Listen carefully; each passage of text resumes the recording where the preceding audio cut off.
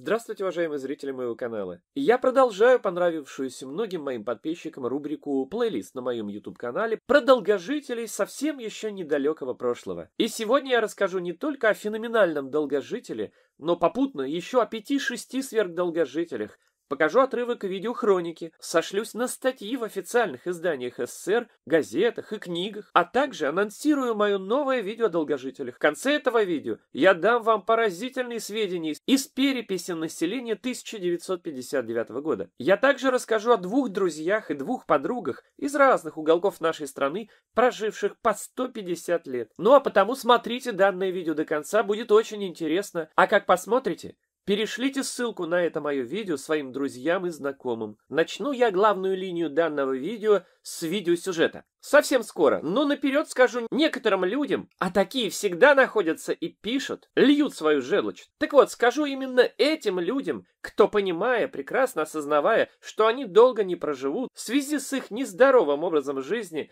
и пытаясь не изменить себя к лучшему, а прожить, дожить остаток своих лет или дней в мнимых ими наслаждениях и удовольствиях, потакая своим пагубным привычкам и зависимостям, заявляет, кто так заявляет, что не жили эти долгожители столько, все это вранье, это все приписки были, паспортов тогда не было и тому подобное. Так вот скажу таким, если вы все-таки захотите узнать истину, а не врать себе и далее так дешево, успокаиваясь самообманом, то посмотрите вот это мое видео про Махмута Ивазова, только полностью посмотрите, и вы услышите доказательства его жизни в 152 года, более точные доказательства, более подтвержденные, нежели знания, скажем, того, сколько лет вашим родителям или лично вам. Да-да, именно так. То есть на 100% из 100 возможных и прекратите тогда уже нести эту успокоительную для вас чушь, тем более тыкать на Википедию и книгу Гиннесса. Хватит уже, хватит. Недавно, кстати, у меня было видео о последнем ведическом жреце Ингушетии. Ссылку на это видео я дам под этим видео. И также ссылку на весь мой плейлист о долгожителях, в котором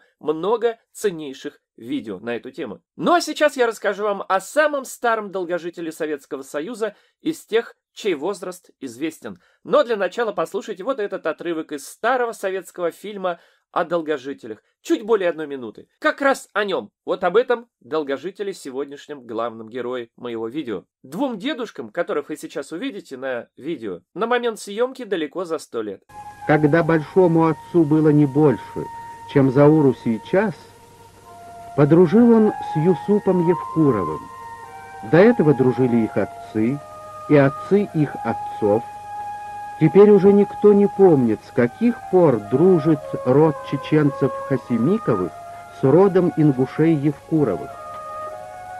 Казались эти развалины Зауру остатками необычайно древнего времени. А это, оказывается, аул детства и юности обоих дедушек. И они еще все хорошо помнят, как бегали вот по этим улочкам, во что играли и кто в какой башне жил. Дедушка Юсуп, например, даже знает, какую башню и сколько лет строили. Оказывается, башню строили не один десяток лет, иногда целыми поколениями. И, пожалуй, единственным человеком, который видел начало и конец этого строительства, был Арзгери Хазитов, ведь он прожил 180 лет. Ну как? Здорово? Вдумайтесь только, дорогие товарищи. Он родился в 1760 году, когда еще правила дочь Петра I Елизавета Петровна, а умер в 1940 году, перед началом Великой Отечественной войны при товарище Сталине. Скорее всего, он прожил более 180 лет, но точной даты смерти его я не нашел, тем более Война вскоре началась, будем считать, что в сороковом году. Скажу наперед, некоторые авторы писали фамилию его Хазитов, а некоторые Хазигов, но это связано с переводом на русский язык. Ну а теперь слушайте еще внимательней. В газете «Медицинский работник», в официальной газете Советского Союза в 1940 году была помещена заметка, в которой говорилось, что в хуторе Мержай-Берам Чужичинского сельсовета Очхой-Мартанского района Грозненской области живет Хазитов Арзгери, которому исполнилось 180 лет. Следует отметить, что самые долголетние люди в мире – Хазитов, Фарсгири и недавно умершая, внимание, 180-летняя осетинка Тепет Абзеве – жители СССР. От себя скажу, она прожила на несколько месяцев меньше Арсгири.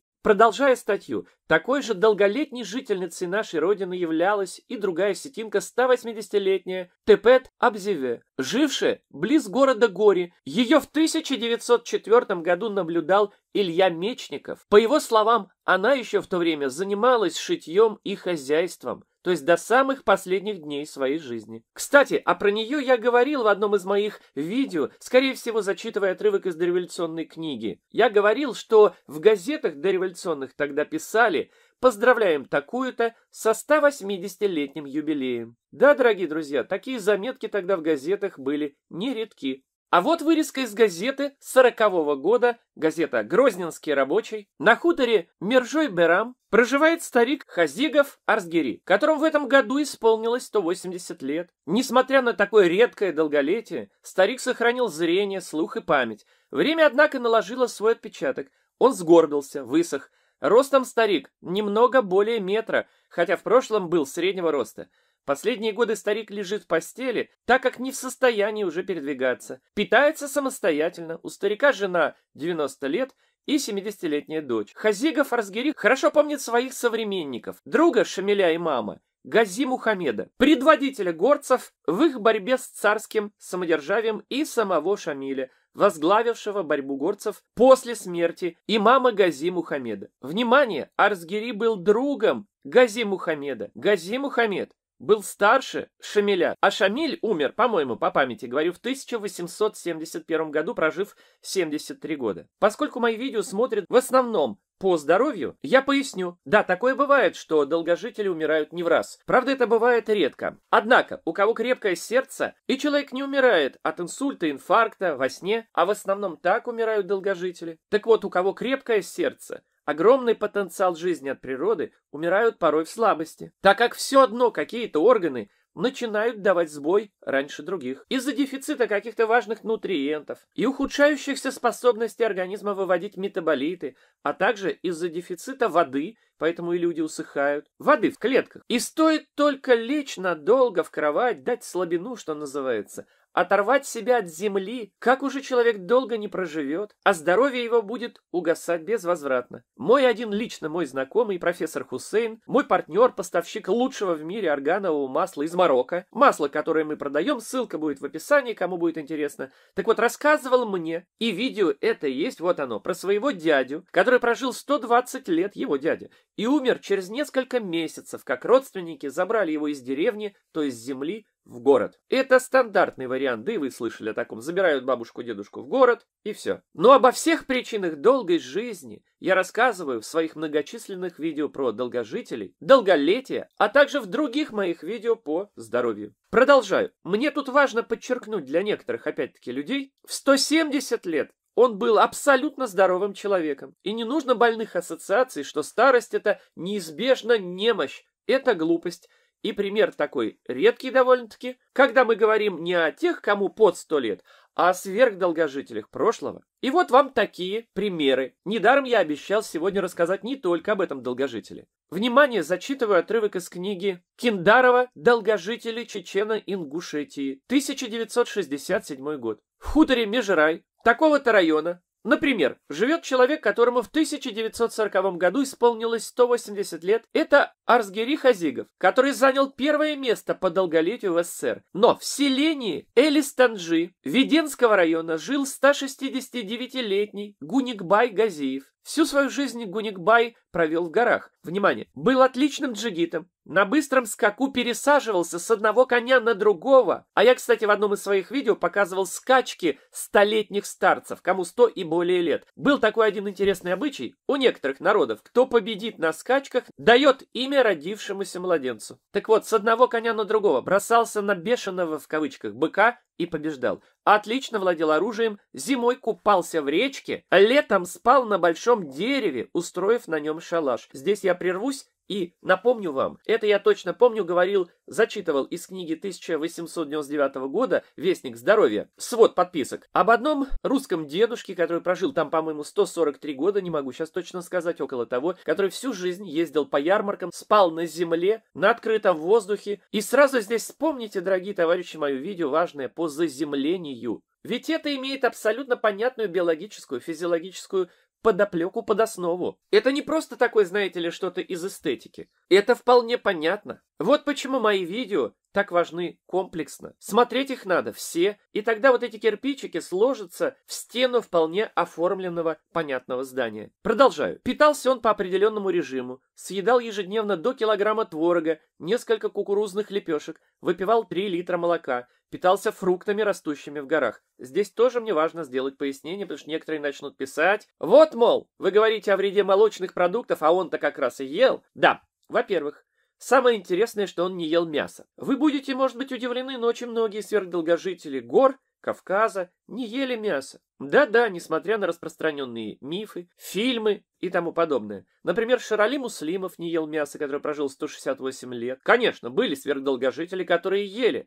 Но есть нюанс. Я расскажу как-нибудь в отдельном видео об этом подробнее. Анализируя их питание, я прихожу к выводу, во-первых, что они почти ничего не ели сладкого, то есть только сезонно фрукты. Вот как и народы Хунзи и так далее. То есть можно сказать, что они были на сезонной кетогенной диете, можно так сказать. Многие были вегетарианцами. К тому же один вредный фактор нивелируется многими другими положительными факторами. К тому же, раздельное питание, а по сути оно было именно такое у этого человека и у многих других, также дает свои огромные плюсы. У меня было видео вот это, раздельное питание. Впрочем, поясню это как-нибудь в отдельном видео. Так вот, до конца своей жизни Газиев имел хороший слух и зрение. Был у Гуникбая друг, Хаджи Мурат Дадаев, моложе его на 20 лет. Внимание, умерли друзья – в 1939 году. Гуникбаю было тогда 169 лет, а Хаджи Мураду 149 лет. Помните в начале о двух друзьях и двух подругах обещал рассказать? Ну вот о двух друзьях. А хотите, я о них видео сделаю? Но пока идем далее. Не буду зачитывать отрывок из статьи, лишь скажу, что в общественно-политической газете Чеченской Республики номер 23 писатель Олег Джургаев, а статья называется «Тайный гор Тибулос Мта», рассказывая о древних знаниях, о памяти войн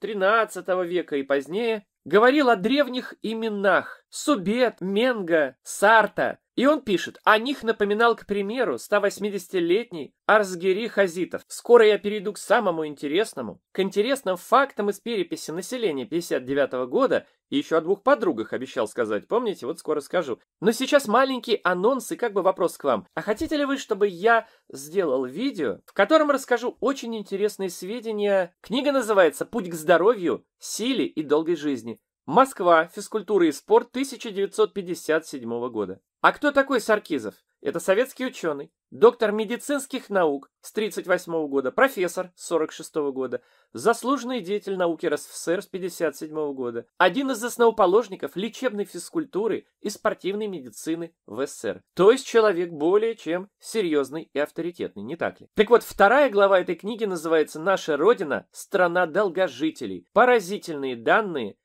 Точные сведения, которые сейчас в наши-то дни многих могут удивить, а кто-то и будет говорить, что все это глупости, всего лишь на том основании, что сейчас жизнь совершенно другая, и хоть нам втирают, что жизнь все у нас увеличивается и увеличивается, как будто у нас до сих пор советская медицина и советский строй. А люди и рады это слышать, мол, ну что же делать, раньше жили 30-40 лет вообще. Кстати, откуда эта глупость пошла и подмена статистики, я во многих своих видео долгожителях тоже пояснял. Все это лежит на поверхности, все это элементарно, как говорил Шерлок Холмс. А еще была очень интересная книга, называлась «Мир вокруг тебя». Это издательство «Крым», Симферополь, 1966 год. Книга писателя Николая Тужилина.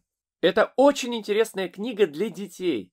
Она отвечает не только на многие вопросы, возникающие у ребят школьного возраста, но и у взрослых. Так вот, в этой очень интересной книге для детей есть глава номер три. Лет до старости это мало. И там есть очень интересные сведения. Могу сделать обзор и этой главы книги в моем новом видео. Ну что ж, товарищи, вы думаете, что 120 лет жизни было еще совсем недавно в истории нашей страны чем-то немыслимым? И в глазах народа невозможным? Нет, это сейчас приучают к этой мысли людей. В век, нынешний век деградации разума и здоровья, что это фантастика. А раньше это знал каждый. А сейчас в завершении данного видео я позволю себе зачитать отрывок из книги «Мир вокруг тебя», а вернее несколько отрывков, маленьких, коротких. Первый. Девять лет назад на Олимпиаде художественной самодеятельности в Абхазии 112-летний старик Лука Шарея из селения Гали получил премию за исполнение народных танцев, а 115-летний старик Чухава участвовал во всегрузинских конных соревнованиях. Так вот, сейчас про перепись, но скажу лишь, напомню, кто еще не подписан на мой канал, подпишитесь. Более того, нажмите на колокольчик, чтобы не пропустить выход моих новых видео, они будут как уведомления вам на почту приходить тогда, ссылки на них. И вот тогда вы не пропустите выход моих видео.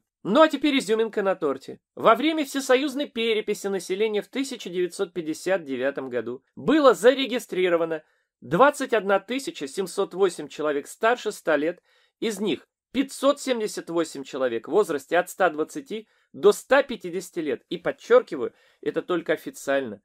Уверяю вас, что огромное количество людей как раз жили не увеличивая, а либо уменьшая свой возраст, либо замалчивая о нем. Почему? Это тема отдельного видео. Ну а теперь про двух подруг. Почти полтора столетия прожили подруги Екатерина Георгиевна Проворина и Василиса Ивановна Козликина из станицы Курганной Краснодарского края. То есть не только народы Кавказа обладали, отличались долголетием, как многие из вас полагают. Подруги в одном селе. А помните, я приводил пример, не могу уж удержаться, скажу, из одной книги Даниила Гранина, когда он познакомился с молодым тогда еще генетиком прямо перед революцией. А тот, будучи дворянином, ну, гостил у своего отца до революции в небольшом каком-то имении, где-то в средней полосе России, и там тогда еще жило три ветерана, друга Первой Отечественной войны с Наполеоном. Всем им было тогда далеко за 120-130 лет. Это в одном селе, можно сказать, район нескольких деревушек. Вы понимаете, что это означает? В одном из своих видео я, кстати, пояснял, что это означает, и что означают медали, которые были выпущены промышленным тиражом в 1912 году, когда отмечали столетний юбилей Бородинского сражения, а давали эти медали, раздавали бесплатно, фронтовикам, то есть их было много. А в той войне Отечественной, первой, в отличие от Второй Отечественной, воевал не весь народ далеко, как вы это понимаете, а только малая его часть. И население тогда было гораздо меньше. Понимаете, что означают эти цифры вообще? Даже приблизительные, совершенно без точных данных. А вы хоть знаете, поняли, почему считается, что раньше, там начинают про средние века и позже даже, даже чуть ли не про 18 век, что жили 30-40 лет. Откуда эта средняя продолжительность жизни берется? И почему нет противоречия в том, что продолжительность жизни пусть была и такая, если однобоко трактовать, понимать, как выгодно себе эту статистику, но при этом люди жили по 130 и 160 лет и больше – и противоречия здесь нет. Почему? А попробуйте догадаться, кто не слышал мои ответы в моих прошлых видео про долгожителей. Ну что ж, в общем, на этом на сегодня все. Жду ваши комментарии, письма, отзывы под этим видео. Не ленитесь, пожалуйста, пишите. И смотрите мои видео по здоровью, в них очень важная, жизненно необходимая аналитика. И еще раз напомню, перешлите вот ссылку на это видео своим друзьям, близким, знакомым, родственникам. Ну а на этом все. Крепкого вам здоровья, всем хорошим, честным, порядочным людям и до новых видео. До свидания.